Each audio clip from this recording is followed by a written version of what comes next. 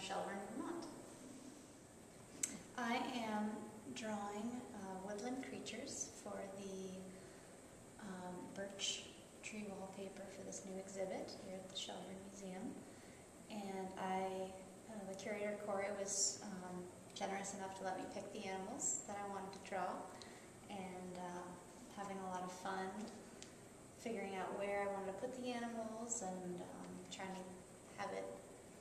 accessible to the eye as people come around the exhibit and follow around the back. Um, so right now I'm working on a little butterfly, and there's a chrysalis over there on that side, so I'm kind of hoping to show sort of the progression of butterfly coming to life.